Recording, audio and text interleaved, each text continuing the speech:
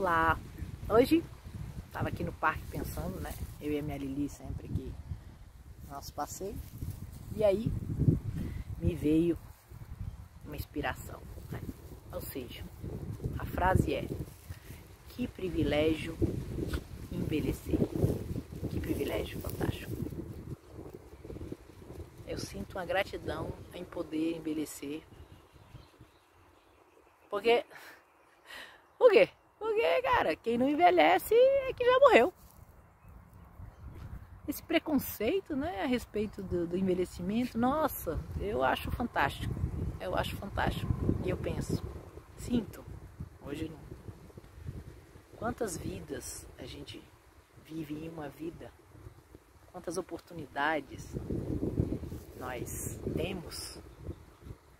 Como nós éramos? E como nós somos hoje?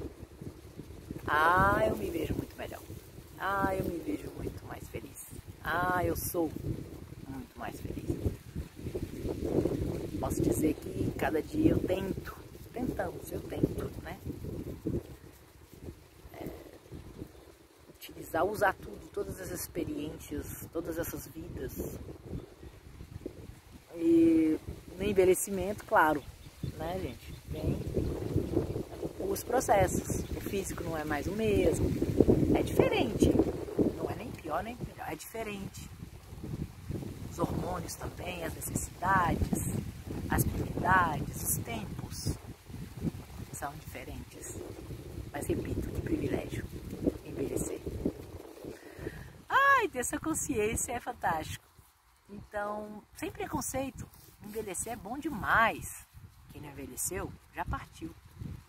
E você está aqui está fazendo o quê? Gratidão, cara. Gratidão por ter essa idade, por ter vivido todas essas vidas, por compartilhar todos os dias, por tentar ver Deus em todas as coisas. E isso já é basicamente tudo. Então, agradeça por envelhecer, porque só pode agradecer quem ainda está aqui. Beijos.